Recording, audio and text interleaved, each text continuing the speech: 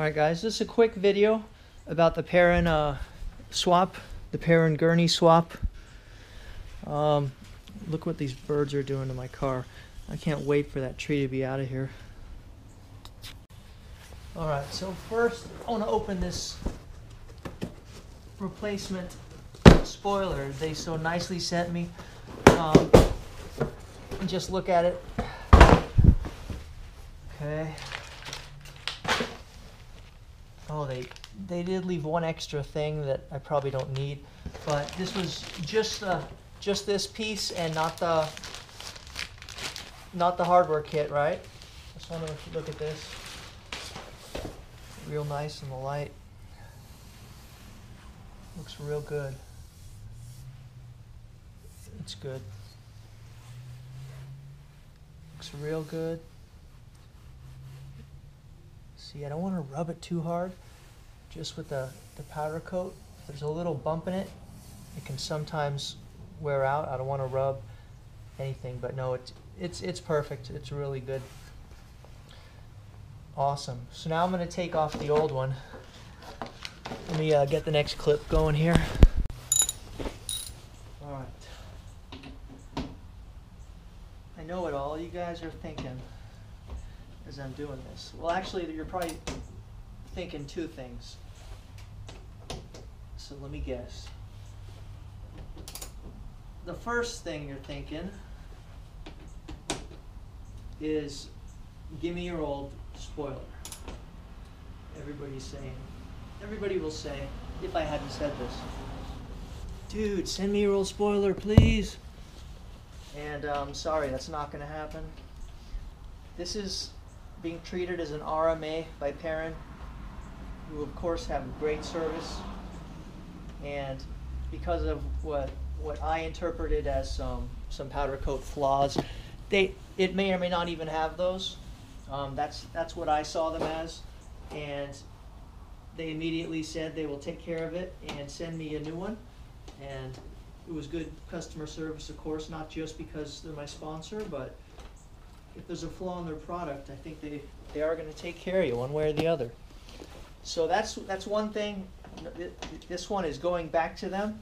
I cannot give it to any of you guys. Oh yeah, you can really see it.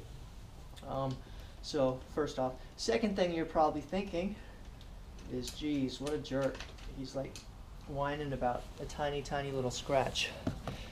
And that's fine. I don't have no retort for that. You're right. I am whining about a scratch that that I know in, in my gut that that I didn't cause. I didn't drop anything. Careful. I didn't drop. It's under tension. Remember, I didn't drop anything on it.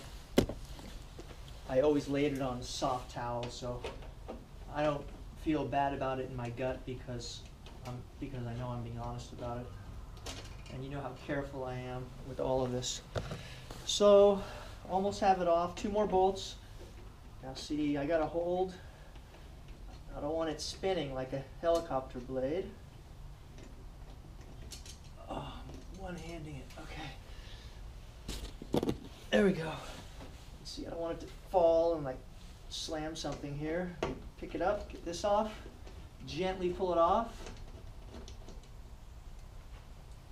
Very carefully. Put this down. Put my bolt out.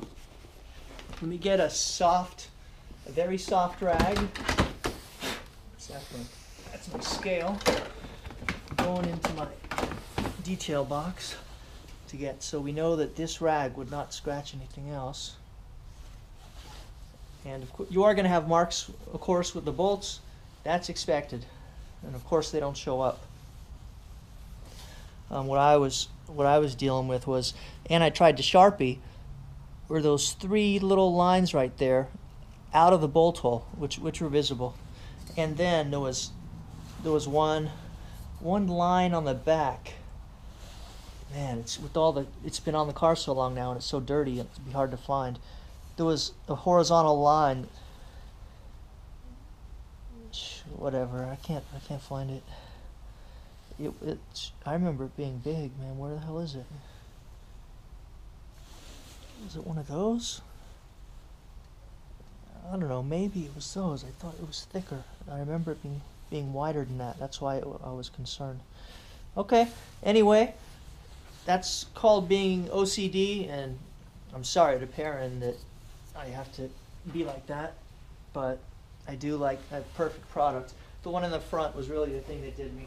So this beautiful new one, it was specially checked before it left the factory. No excuses now.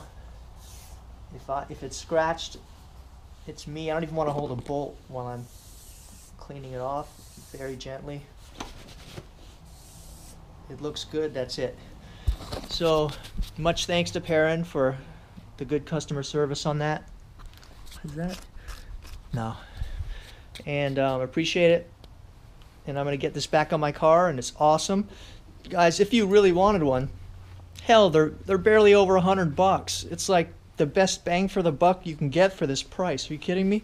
Completely transforms your car for like 110 bucks. It should be a no-brainer if you like that kind of thing. Um, you also have the gurney flap, who Steamax did too. No, not not that. Um, the duckbill spoiler that Steamax did too. That's another option. Um, I like this one a lot, and he likes that one a lot. There's a lot of options out there, and we all have different tastes. So um, that's it for now.